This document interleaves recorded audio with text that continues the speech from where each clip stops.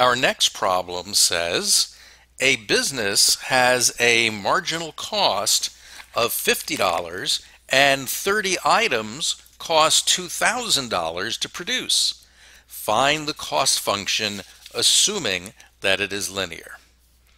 Okay, so what we have learned so far is that a linear cost function, c of x, is going to be equal to the marginal cost, or the slope, times x, plus the fixed cost.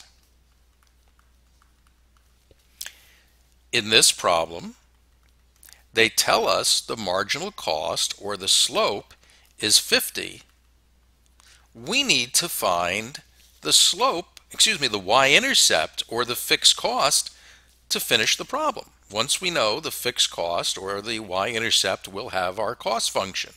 So to find b, we use the only information in the problem we haven't used yet and that is when 30 items are produced, remember X is the number of items produced, the total cost is $2,000. When X is 30, C of X is 2,000.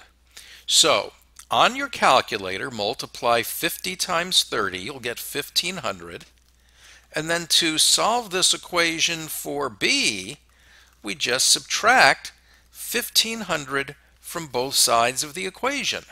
On the left side, 2,000 minus 1,500 is 500. On the right side, the 1,500 and the minus 1,500 cancel, leaving us with B.